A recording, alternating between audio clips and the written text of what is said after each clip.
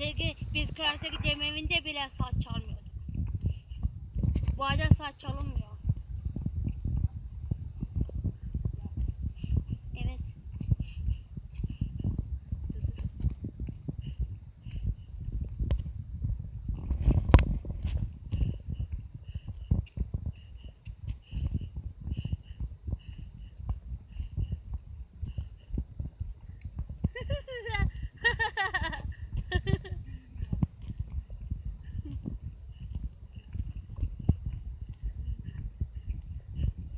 Ya Nagır ama çocuğu sırtındaki buradaki adam kimmiş ya?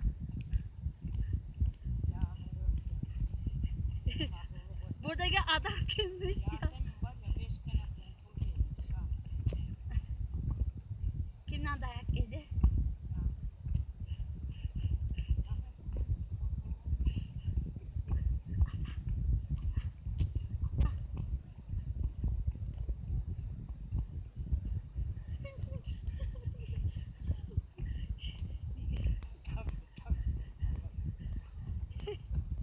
Ne?